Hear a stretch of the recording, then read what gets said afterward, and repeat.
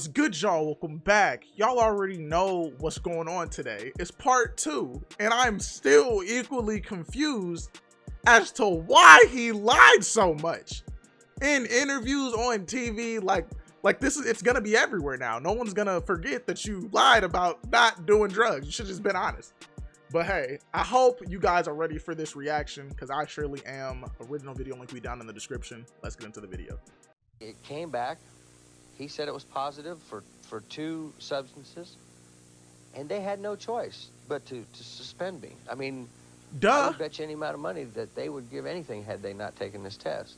Because now they can't let me on the track until, you know, if, if I was to go out on the track, hurt someone or whatever, and it be found out that they were aware of this test prior to going in, then, you know, they would. So I understand their position here. I've just maintained there's you've made a mistake. I've made mistakes in my life, meaning what that there's been a mistake made on this drug test somehow or another. Huh? Uh, I am not guilty of it. I asked the question of one. So how did the opiates get in your system? Someone please tell me. Someone explain to him how did it get in the system? Don't do drugs. I admire him as a race driver. He is a good driver. It is sad. It is a sad predicament. Whether he is guilty or not, I didn't know. That's not my business. There are. That is literally all you can say. That's all you can say. Because at the beginning, he was like, I don't think he's the type person to do that. But as soon as you find out, it's like, hey, it's not my business. If he's guilty or not, I can't do nothing about it. But that was that was a great response. One of the officials. Great statement. Had I not requested the test, had I not asked for it, would you have requested one of me anyway? And his reply was, You'll never know, will you? This is something that we were that could happen. You know, we knew that there was a possibility that someday somebody might get caught at one of the in one of these situations. It has happened. I think we'll just have to wait and see the outcome of uh, Tim's situation. I got to say personally that uh, Tim being here and uh, trying to run the race and uh, the things that went on around him being down here, uh, you know, the drug test uh, is good. Good time to have it in effect. You know, there has been some vicious rumors started on me since my illness with pneumonia. I was trying to put to rest these rumors and to put the competitors' minds at ease that there was no. Last year, I said I didn't think we needed drug testing. I didn't think there was a problem. Apparently, there is. Benny Parsons. Basis to these rumors. Have you used drugs or uh, uh, uh, prohibited uh, substances in 1988? Do not lie. No, I have not. Oh my At God! Time while you were a Winston Cup driver. No, I have not. Without Tim Richmond, a dozen big stars lined up for the first big race of Stock Car Speed Weeks. Could somebody put this man on a lie detector test? So he knows to himself that he's lying. Unless unless the doctors actually did get it wrong and like this is like a crazy story and like shit changes around. Monday, NASCAR announced the second test was clean and said Richmond's license was being reinstated. What? Then on Tuesday, officials revealed that until he passes a physical, he can't race, and he can't pass the physical unless he submits medical records from his 1987 stay in a Cleveland hospital where he was reportedly treated for pneumonia. Tim Richmond, ineligible to drive a Winston Cup stock car in the wake of two controversial drug tests, is discussing his next move with his lawyer. That lawyer is Barry Slotnick, defense attorney for so-called subway vigilante Bernhard Goetz. Okay. This this story, man, this story is has me all over the place. Okay. In 1984, Bernie got I, I, I'm not even going to try. Shot four men who tried to rob him on the way to the New York subway he shot four men. His trial became the focus of the nation in the mid 1980s. Holy.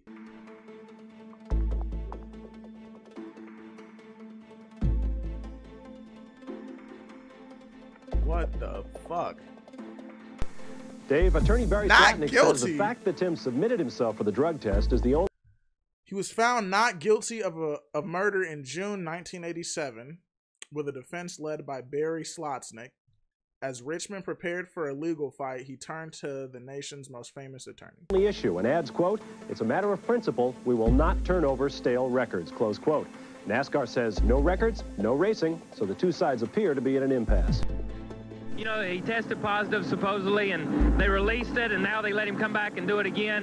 You know, I have mixed opinions on that. I think if he's going to test again, that he ought to have to set out a month or two months or something before he can come back and race. I don't think they ought to test on Monday and then test on Tuesday and test on Wednesday, and let's just keep testing until we get a clear, until we get a clear sample. I don't, li- I don't agree with that. You know, I'm sure Which there can right. be mistakes in tests, uh, but you know, for whatever it is, uh, at least he, you know, he had one come up negative, so that's good. Ken Schrader looks like he looks the exact same. Like his face didn't change not one bit as he as he got older. He looks the exact same. You wouldn't feel circumspect about racing against him then. No, I wouldn't, wouldn't have felt bad about racing against him Sunday either. And I love the way he talks. When the first drug test was analyzed, Richmond was told he had tested positive for okay. So much. After days of additional testing, it was discovered that Tim had tested positive for Advil and Sudafed, drugs that sometimes cause false positive. Okay, okay, okay. So he, he okay, might he might have been right. Might have been an accident, a misread.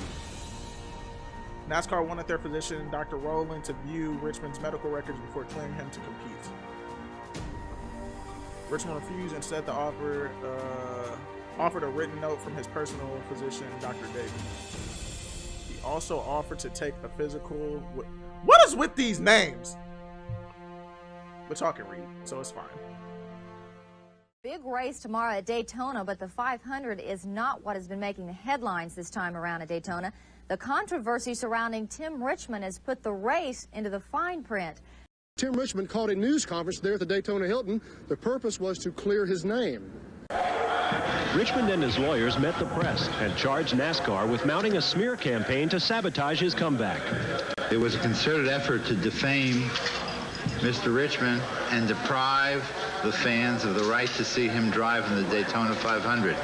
NASCAR finally, after Thursday's qualifying races in the evening, sat down and issued a release and told you folks that Tim Richmond did not have a prohibited illegal drug in his system, but had Sudafed and Advil, something that everybody in this room might at one time be guilty of having in their system. I, I came here to race. I, I came here uh, to attempt to race, to get a license, and to try to clear up a lot of this that is uh, rumors that has taken place in the last year. And it, it uh, the hole seemed to get a lot bigger again. My number one goal is to clear my family name, and I basically, very simple, I do not, did not, and, and still do not trust NASCAR. The power within is too large for little Timmy Richmond or whoever out there to deal with up to this point. We are making a final last-ditch effort. There is a possibility at 3.30 this afternoon you may see Tim in a car doing the final lap to qualify. At that point, it will be up to NASCAR. Yeah, I'm going to make attempts to race this season. Um, I don't know if it'll be NASCAR, NHRA, uh, USAC, CART. I, I really don't know. I've got a lot of people now that's they're still in my corner. Uh, they'd like to see me perform as a race car driver in some form or another. I would like to do that, but uh, I just hope I haven't been burnt too hard here. Well, joining us now live here in our Purolator Victory Lane at Daytona is NASCAR Director of Public Relations, Chip Williams. Chip, thanks for joining us. Sure.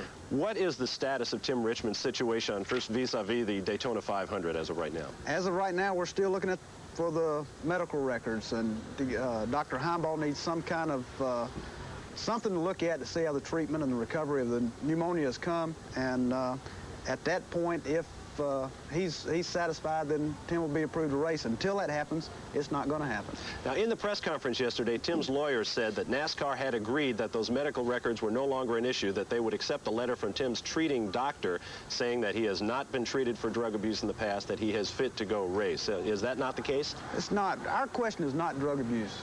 Uh, going back Wednesday a week ago is when we asked Tim for the medical records, or Dr. Heimball did, wanted to know where he stood in his recovery and how the treatment had gone for the pneumonia to see if, if Tim was able to run, physically able to run 190 miles an hour for 500 miles. Uh, on Thursday, of course, things got a little off track because of the because of the urinalysis test. Uh, by Monday, that he was back in a situation where his license was valid. Why did still we were still sitting there waiting for the medical records, and we've been waiting. When was then. when was the first time that you asked Tim Richmond for his medical records? First time Dr. Heimball asked was Wednesday a week ago, the Wednesday prior to the Busch clash. Uh, on January 26th, Bill Jr. and uh, Bill France Jr., I'm sorry, our president, and uh, Les Richter, vice president for competition, told him that, that they thought that Dr. Heimball would probably ask for that because he wanted to know how the how the pneumonia was coming. We should point out here Dr. Heimball is NASCAR's medical director. He is the track physician here. Chip, why did it take so long for the announcement of the Advil and the Sudafed being the drugs in question to be announced? we didn't want to say anything until we knew exactly what the drug was. Exactly what the drug was. We knew there was a prohibited substance and there was, there was a violation of the substance abuse policy. However, we didn't know exactly what it was, and until we could pinpoint it, we weren't going to release it. Exactly, they were doing what they were supposed to do. Briefly, we've only got a short time. Is NASCAR trying to keep Tim Richmond out of stock car racing? Not at all. From what No. I can see, Tim Richmond's trying to keep Tim Richmond out of stock car racing. And that's that's how I see it, low key. I agree with him. I feel like if anything, this man is Good afternoon, sabotaging everyone, himself. from Daytona Beach, Florida. Today, 42 drivers will go after more than $1.5 million in the Daytona 500. One driver who is not here today, but whose name has been in the headlines for the past several days, is Tim Richmond. Why are they picking on me? Poor little old me? I really don't know why they are. Um, I, I don't know. I don't know. But uh, they've picked hard enough to where I'm going to, uh, you know, I'm going to bite back.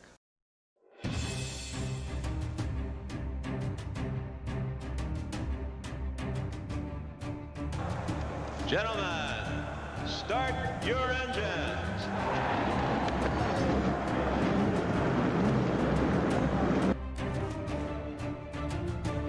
And the green is unfurled. We're underway.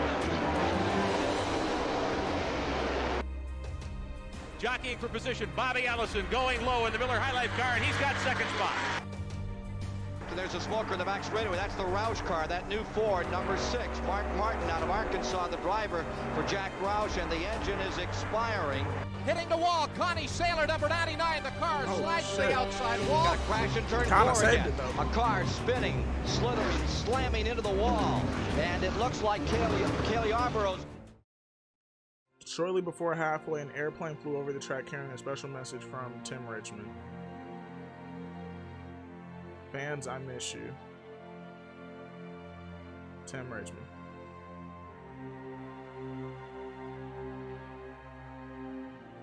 Trouble turn number four. Richard Petty's car goes Holy airborne. End shit. Of ramp. There's two or three other cars into God it. damn. Petty has hit the wall very hard. He gets hit Ooh. again as the car came to rest at the entrance to pit road. back they go. And look at this tremendous assault. And here goes Darrell Waltrip, three wide for the lead. One last try for Davey Allison, but he has to tuck back in line just behind his dad, who was a twice winner of the Daytona 500. Bobby Allison wins it for the third time in his career. Right behind him was Davey Allison. Holding on to a tight third place battle was Phil Parsons with Terry Labonte and Neil Bonnett. What a finish as the Alabama gang, Bobby and Davey Allison, take positions one and two. I remember that. It was quite a finish. Now for the latest on Tim Richmond. His attorney, Barry Slotnick. One month after the Daytona 500, Richmond returned to Daytona for Bike Week. Along with his friend Bobby Jones Jr., Richmond compiled photos of the event into a coffee table book. says they will take a couple of weeks to evaluate their situation before making another attempt for Tim to get back into racing. NASCAR says they still need to be satisfied as far as Richmond's medical records are concerned from his illness in 1987. We haven't heard the last of that story yet. When Tim and April his lawyers 28th, 1988, Richmond sued NASCAR over the initial failed drug test by wrongly announcing the false positive result. They had labeled him a drug user.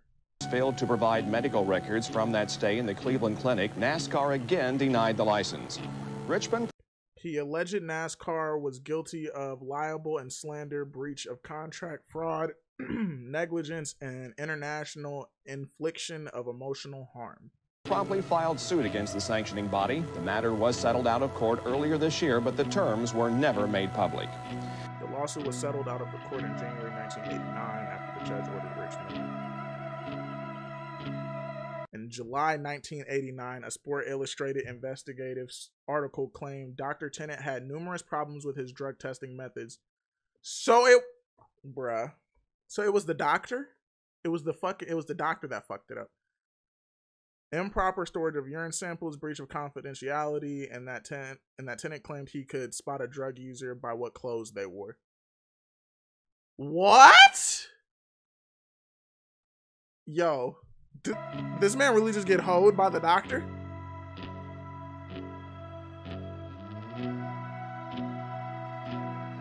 The NFL and NASCAR ended their association. One of the most colorful drivers in all of auto racing is dead at the age of 34. Ugly rumors of drug abuse and AIDS will taint his accomplishments until the exact cause of death is revealed.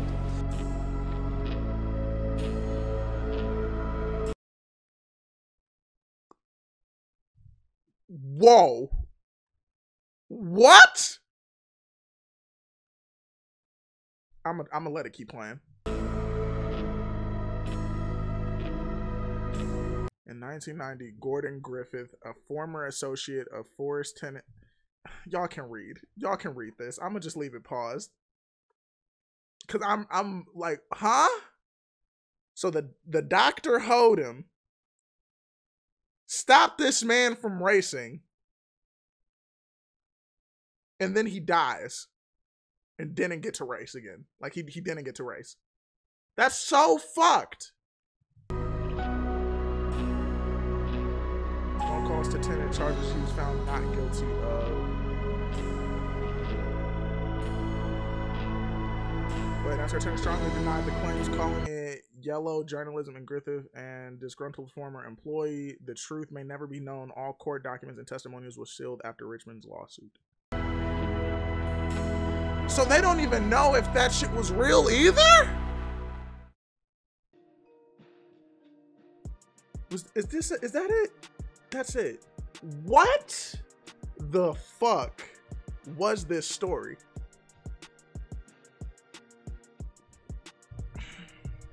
Look, I'm gonna say this right now.